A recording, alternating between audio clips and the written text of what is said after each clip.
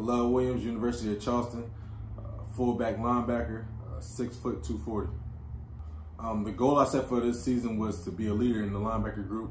I know we had a lot of young guys in our group, and I was one of the only seniors on the defense.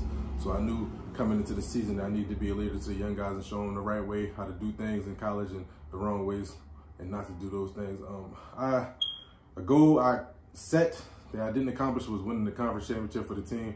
Uh, we didn't we didn't get to do that. We uh, finished at eight and three, but we still finished the second in the conference.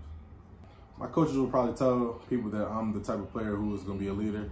Somebody's going to be there on time, every day, comes in and works hard, and uh, knows how to relate to people. When I'm studying film, I focus on tendencies.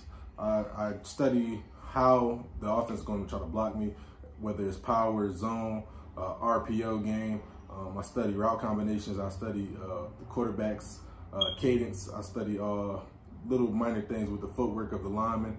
Uh, that's how I improve my game uh, each week. What separates me is my uh, football IQ and my work ethic. Nobody's gonna work harder than me. Nobody's gonna study more than me. Nobody's gonna be in the right place as much as I will.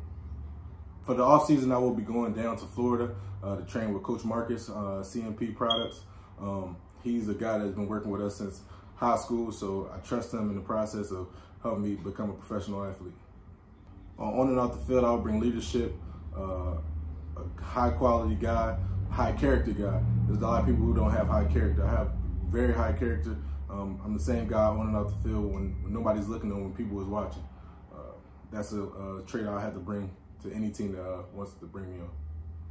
With anything I do, I take passion. Uh, if you want to bring me onto your team, I have passion whatever you put me at. If it's long snapping, fullback, uh, linebacker, special teams, I'm willing to do it all. Um, I'm here to play football. I love this game. I love every minute of it. You can field study. I'll be the guy that you can depend on.